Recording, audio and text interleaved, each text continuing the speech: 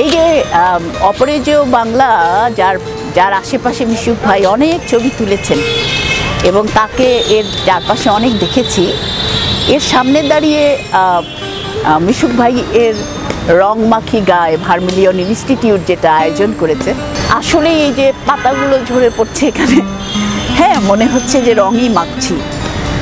মিশুক ভাইয়ের যেটা আমার মনে হয় যেটা ছড়িয়ে আছে বা যেখান যারা তাকে দেখেননি তার কাছ থেকে যেটা শেখার আছে, সেটা হচ্ছে কাজের মধ্যে তার বুঁদ হয়ে থাকা।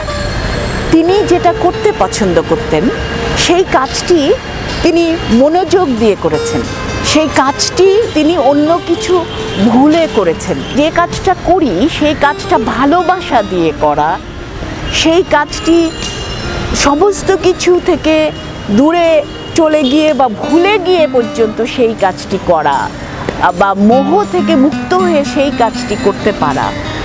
এইটি অসাধারণ একটা ক্ষমতা এবং সেই ক্ষমতাই বোধ হয় তাকে মিশুক মনির করে তুলেছে।